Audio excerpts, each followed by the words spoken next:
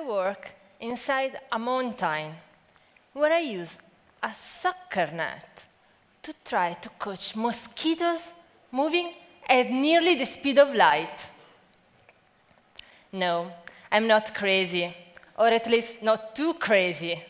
I'm a physicist, and I'm not trying to capture literal mosquitoes, but elusive subatomic particles called neutrinos, which have been making scientists go crazy for almost 90 years and always fascinated me because they are so mysterious and they can teach us not only a lot about the universe, but also many valuable life lessons.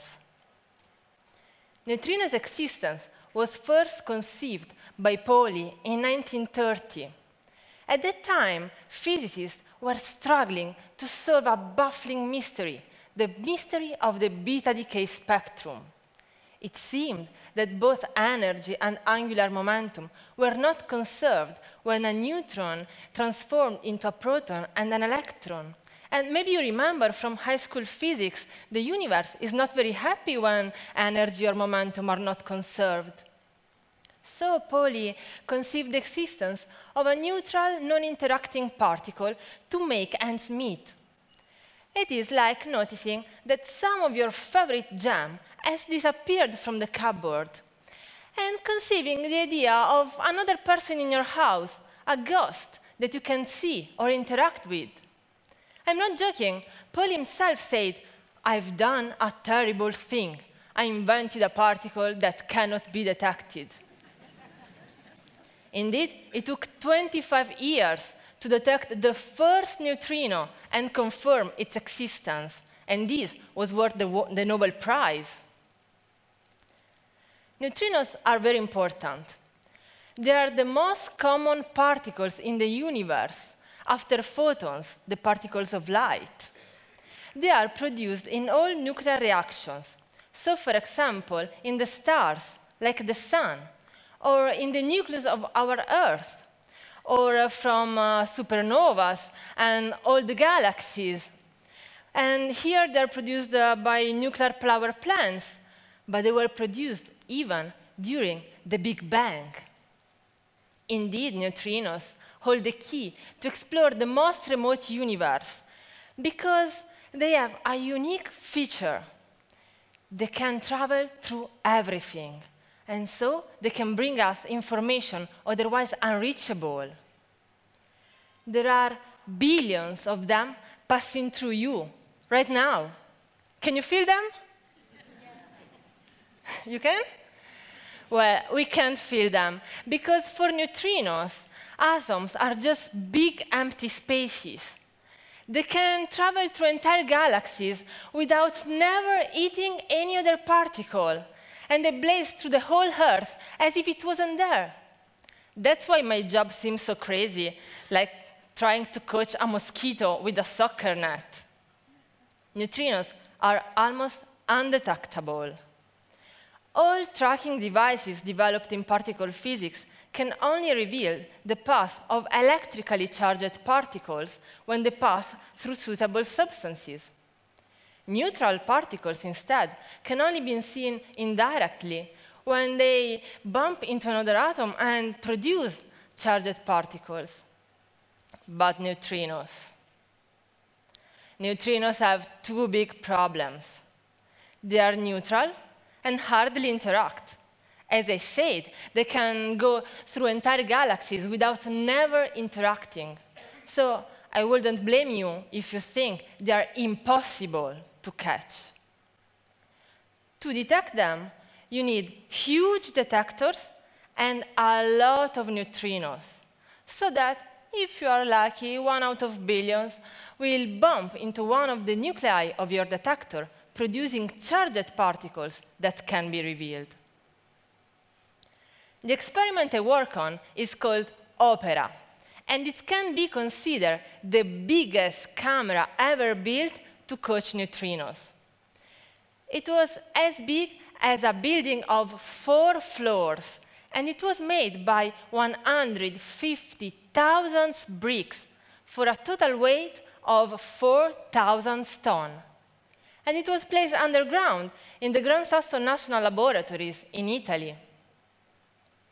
Well, I agree with you if you think that it really doesn't look like an ordinary camera.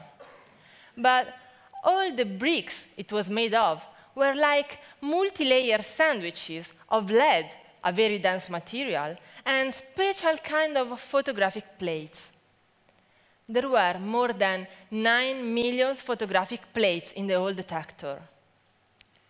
As ordinary photographic plates are sensitive to light, these were sensitive also to the charged particles like the ones produced by neutrinos when they interact. But why did we need to be inside a mountain to do this?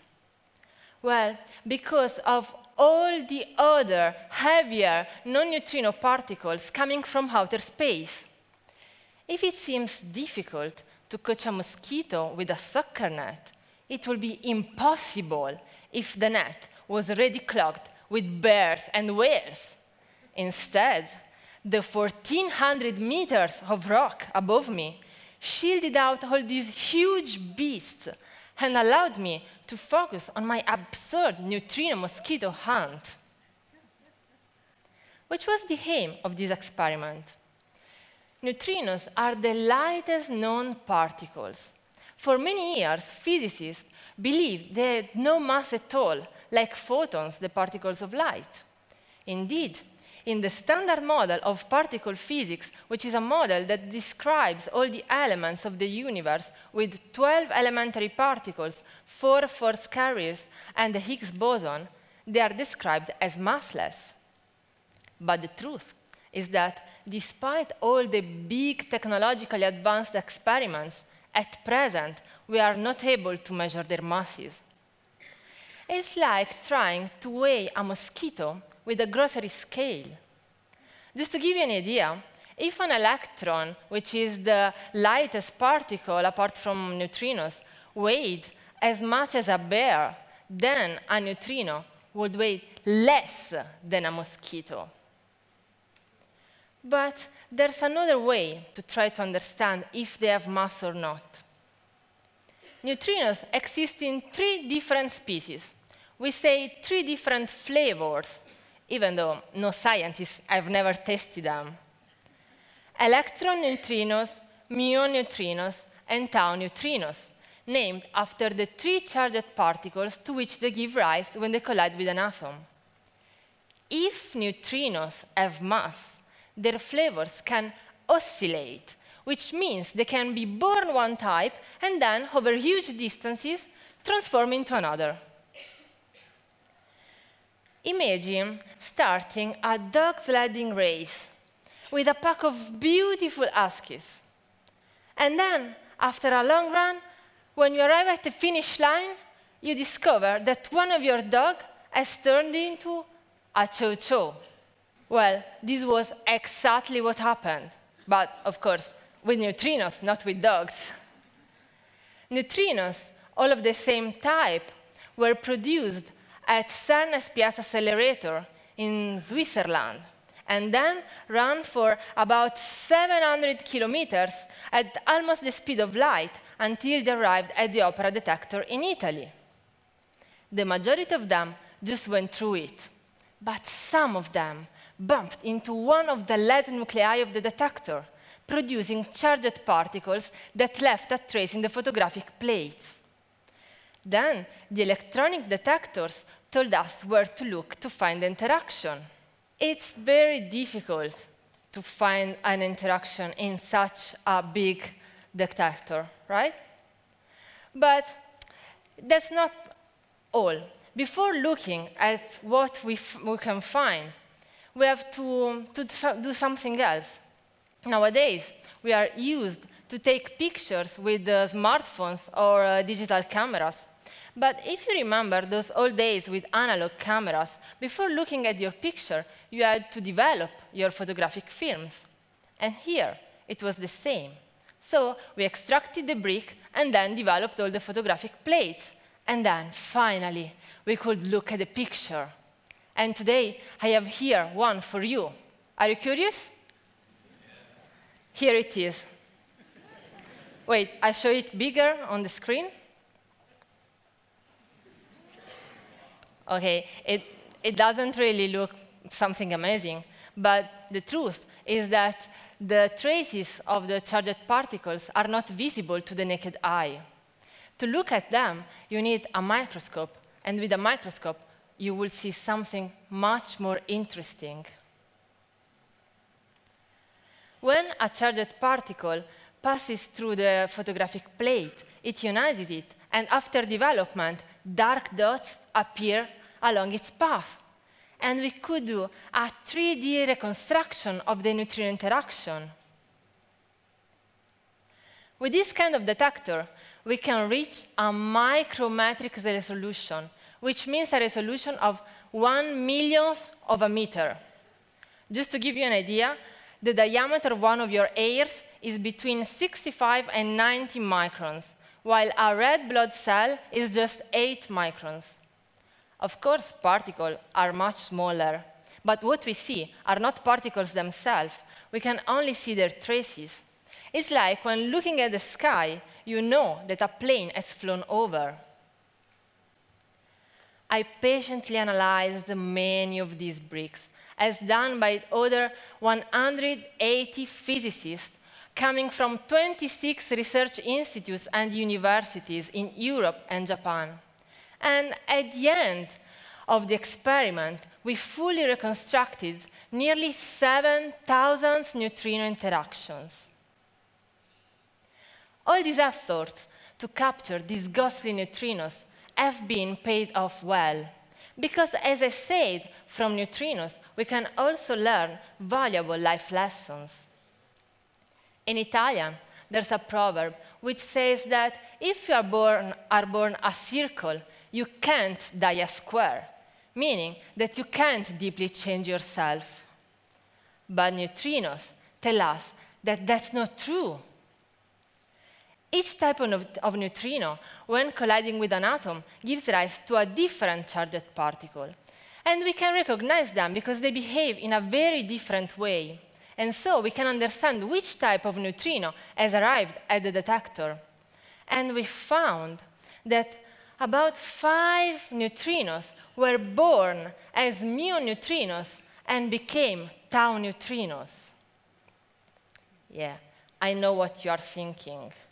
Just five out of almost 7,000? Yes. Neutrino teach us also a lot about patience. Some of you might also wonder if your life will change after this discovery about particles that maybe you didn't even have known existed before this talk? Well, the answer is no.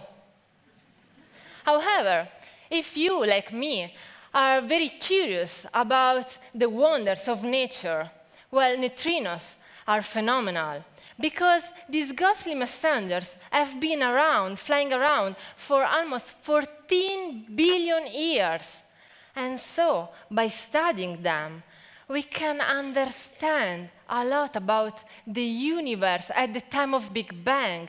And hopefully, we can understand why it has the properties that it has, and not other properties where you and I don't exist at all. Furthermore, by trying to capture these undetectable neutrinos, we keep inventing new technologies that we don't even know where they can bring us. For example, from the experiment that I showed you, some of these technologies are already used in medical researches to find advanced cure for cancer or in the study of volcanoes. I hope that I've hit you with my love for neutrinos, the tiniest and strangest particles we know of, that traveling through everything may help us answering to the eternal questions about the origin of the universe. But even if I didn't hit you, surely during this talk, I passed through you. Indeed, every single person here, being a little bit radioactive, emits every day 340 millions of neutrinos. And so, as my neutrinos are passing through you, exactly in this moment, also your neutrinos are passing through me. Therefore, the last life lesson that we can learn from, from them is that particle physics connects us all. Thank you.